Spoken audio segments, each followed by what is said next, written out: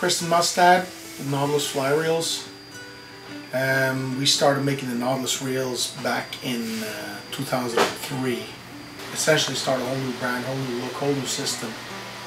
Turned out to be, you know, uphill battle for many years.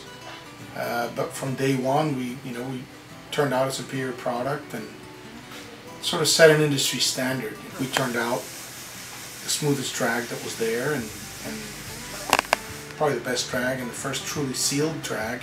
One of the first things we did was when we enclosed our drag system, we put a red backplate on it. The back cover of the brake is red uh, because I want to, you know, sort of insinuate that Brembo brakes, the Brembo brakes are fly fishing. We don't skimp on quality.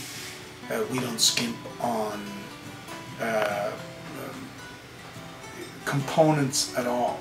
And, and the fit and finish has to be right. When we make a reel, it's new. It's new from the inside out. There's really no insignificant change. The engineering really starts uh, when you identify a problem, a bottleneck.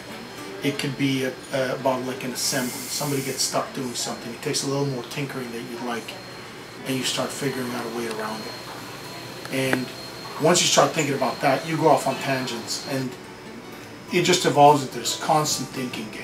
And, and, and the reality of, of, of this whole game is it really is a 4 a.m. idea. You wake up, get out of bed because your mind is racing, and draw out the piece and say, man, I figured it out.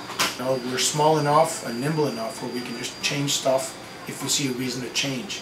And that's essentially, you know, what we do here. We make things better. Not because we need to, but because we find a better way to do it. And that's just the way we do it.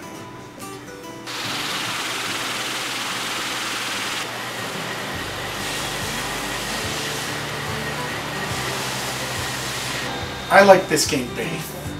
Biscayne Bay is 15 minutes down the road. I can get down, I can go out, chase after bonefish, not necessarily catch a bonefish, but I can be on bonefish within an hour from leaving my office and back at work at noon. Was raised in the outdoors and I believe that the outdoors cures all ills. Every major life decision was made on a trout stream. And that's the outdoors to me, whether it's fishing or hunting or hiking or camping. The outdoors is my form of meditation. People go to yoga studio and do it. I do it in the outdoors.